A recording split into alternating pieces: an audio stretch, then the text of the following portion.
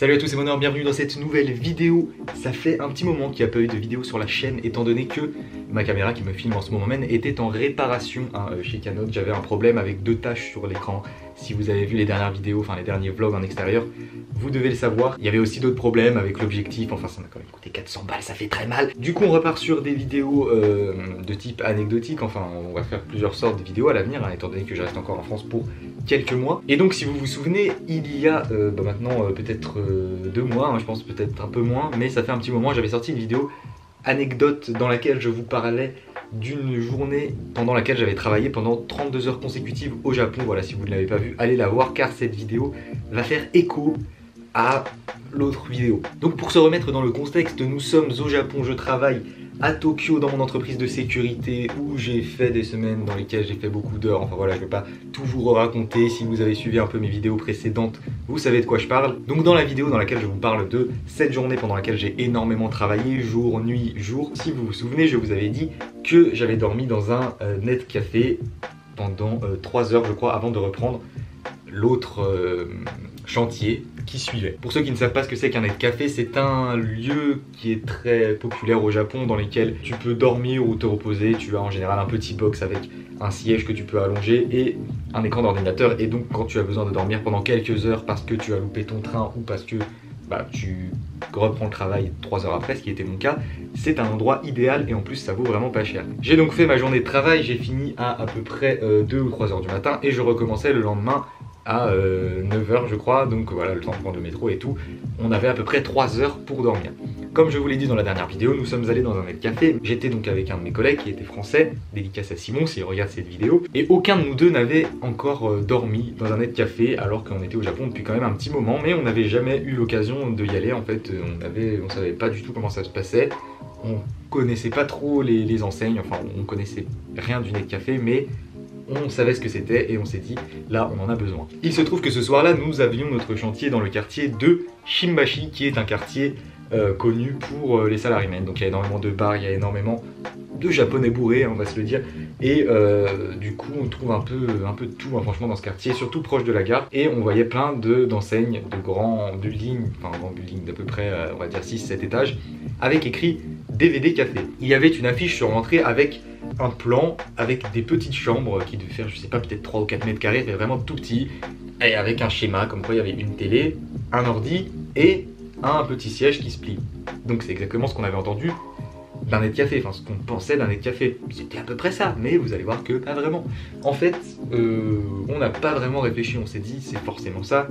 Euh, c'est à côté d'une gare, on savait que c'était souvent à côté des gares parce que c'est les gens qui loupent leur train qui vont beaucoup là-dedans. Et en plus on était complètement claqués étant donné qu'on avait travaillé déjà pendant euh, bien 15 heures d'affilée je crois à peu près. Donc voilà, on avait juste une envie, c'était de dormir en fait, d'avoir juste un truc où tu peux t'allonger et dormir. Et en plus on a vu les tarifs à l'entrée, c'était vraiment pas cher, je crois qu'on était sur du peut-être 8 euros pour 3 heures ou quelque chose comme ça, 1000 yens je crois. Donc on va dans un premier DVD café, ou vidéo café, je sais plus comment ça s'appelle, des DVD café je crois, et on arrive à l'accueil. Ça devait être 3h ou 3h30 du matin à peu près, on lui demande si ils ont euh, deux chambres pour qu'on puisse dormir voilà pour 3 heures. Et donc dans le premier bâtiment qu'on a fait, la personne à l'accueil nous a dit que c'était plein, c'était complet. Alors que c'était un grand building, comme je vous l'ai dit, avec plusieurs étages. D'après les schémas, je crois qu'il y avait à peu près 3 étages réservés à des chambres. Donc complet, on était quand même un mardi, euh, donc en pleine semaine, complet, voilà, ce que je me disais, c'est putain, c'est vraiment populaire les net café. Donc on s'est dit qu'on allait continuer à marcher autour de la gare et qu'on en trouverait bien un autre. Ce qui s'est passé, on a marché à peine 5 minutes, on a retrouvé la même enseigne de DVD café. C'était encore une fois sur plusieurs étages et euh, la personne à l'accueil nous a dit que oui, pas de souci, il y avait des chambres disponibles, voilà, que ça coûtait tant la nuit, etc. Donc on dit parfait pour nous, on va prendre 3 heures, on était très contents. On s'est dit on va enfin pouvoir dormir tranquillement, faire une petite sieste de 3 heures. Pas vraiment. Donc la personne, déjà à l'accueil, nous donne un panier avec une carte qui était censée ouvrir notre chambre. Dans le panier avec la carte de la chambre, il y avait une petite lingette en fait. Euh, dans un, papier fermé, une petite lingette. Sur le coup, ça nous a pas fait tilter. Il y a un truc qui nous a fait quand même un petit peu tilter, c'est que le mec en gros nous a donné le panier et il nous a dit je vous laisse aller à votre chambre. Les DVD sont t'as l'étage suivant. Bon, les DVD, voilà, étant donné qu'on est dans un DVD café, nous on a pensé que un net café, c'est internet café, donc c'est un café, bon, un café c'est un endroit pour dormir, voilà, ils appellent ça café, mais en fait c'est juste parce qu'ils vendent des cafés, enfin je sais pas, mais en gros c'est pour se reposer, et tu as internet dans ton, dans ta petit, dans ton petit box quoi. Là, on s'est dit, vidéo café, ça doit être peut-être un concept un peu différent, dans lequel, au lieu d'avoir un ordi et internet, tu as, euh, je sais pas, un lecteur DVD avec un écran et tu regardes des films. C'était exactement ça, mais genre de film assez particulier. En gros, on est monté donc à l'étage. De toute façon, on était obligé de passer par l'étage suivant parce que notre chambre, si vous voulez, était encore à celui d'après, au-dessus. Euh, et euh, l'ascenseur commençait à l'étage suivant. Enfin, on était obligé d'y passer en fait. Et là, on arrive à l'étage et il y avait une pièce, genre, mais vraiment, c'était, ça faisait la taille d'un magasin. C'était immense avec plein, plein d'étagères, vraiment étalées partout. Ça faisait des grands rayons. On était tout seul, étant donné que c'était euh, assez tard dedans. Et en fait, on s'est rendu compte que le genre de DVD qui était disponible à l'emprunt, c'est c'était pas des Disney quoi, hein. c'était des DVD de type pornographique, hein. voilà, si vous voyez ce que je veux dire, au cas où certains n'auraient pas compris, hein, on va le dire. La chose qu'on était venu faire ici, ce n'était pas euh, se servir de ces DVD, c'était tout simplement dormir, faire une sieste de 3 heures. Donc on s'est dit, de toute façon, on s'en fout. Même si le café est dédié à ça, nous on va juste dans notre chambre, on fait notre sieste et voilà, et on repart, on aura payé notre nuit pas cher et tout. Mais je vous avoue que là, en fait, on avait compris dans quel genre d'endroit on était rentré, mais pas... Enfin, pas vraiment en fait. On avait une idée du truc, mais c'est après qu'on on s'est vraiment dit c'est vraiment chelou. On est allé prendre nos chambres, donc euh, voilà, chambre classique, un petit, euh, un petit divan, un espèce de divan où on peut coucher. Donc voilà, on a, on a commencé à s'installer. Déjà, il y avait deux télés en fait. C'était bizarre. Il y avait une télé, un écran plat, et par-dessus encore un autre écran plat. Et il y avait ouais, deux lecteurs DVD. Donc tu pouvais foutre un film sur chaque écran.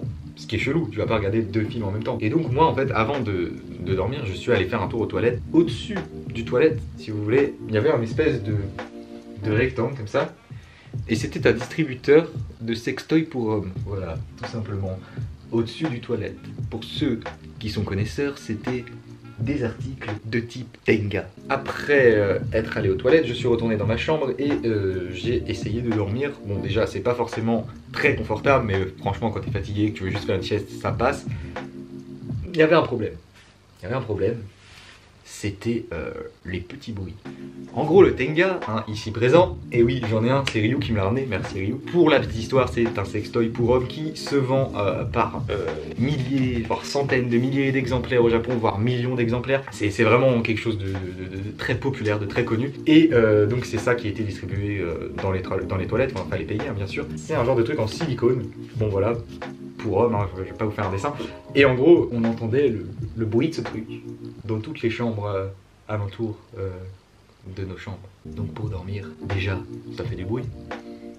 Ok, ok, on peut s'endormir avec du bruit. Mais quand tu imagines que t'as un mur comme ça qui sépare ta chambre et celle du voisin, et t'essayes d'imaginer, enfin t'essayes pas, t'es obligé d'imaginer ce que le voisin est en train de faire à côté, je vous garantis que le sommeil a du mal J'ai quand même, malgré tout ça, nous avons quand même, car la personne qui était avec moi aussi, il me semble, réussi à dormir peut-être une heure peut-être même un peu moins, enfin on a vraiment que dalle dormi. Et donc on s'est réveillé le matin. Donc on est sorti de la chambre et on s'est retrouvés tous les deux dans le couloir vu que nos chambres étaient juste à côté. Et là on s'est regardé et euh, il y en a un qui a dit à l'autre un truc du genre est-ce que t'as entendu les mêmes bruits que moi cette nuit? Et oui, on avait entendu tous les deux les mêmes bruits, mais on avait tous les deux mis un bon moment avant de s'endormir et on n'avait pas dormi beaucoup. Pour ceux qui ne l'auraient pas compris, en gros, on est rentré dans un espèce de lieu où euh, les Japonais viennent pour se masturber dans des box privées tout en regardant des films pornographiques avec la possibilité d'en mettre deux en même temps. Et rien que de se dire que ce genre d'endroit a été inventé, existe hein, sur cette planète, c'est bizarre quoi. Comment ce genre d'endroit, si vous vous rappelez bien juste avant on est dans un autre endroit, un mardi en pleine semaine, avec des chambres sur trois étages, peut-être complet, hein. il y avait celui d'avant était complet. On a compris à partir de là que le Japon c'était un pays où il se passait des choses quand même assez étrange. Et on est reparti de net café avec des souvenirs plein la tête. Et donc on est allé au travail et on a continué cette journée incroyable de 32 heures consécutives, voilà, que je vous avais raconté dans la dernière vidéo c'était pas un net café en fait, hein. c'était un, ce qu'on a appelé, hein, ce qu'on a appelé pendant des mois après, un café branlette hein, pour les intimes. Il se trouve que nous en avons parlé à quelques amis japonais et tout le monde connaissait et tout le monde trouvait ça absolument normal, voilà, il euh, a que nous que ça choquait en fait. Et donc vient la fin de cette vidéo, la fin de cette belle anecdote. Ça laisse des souvenirs pas forcément agréables, mais je vous garantis que quand t'es en soirée et que tu racontes cette anecdote, fait toujours rire quelques personnes. C'est pour ça que j'ai décidé de vous la partager directement sur ma chaîne YouTube.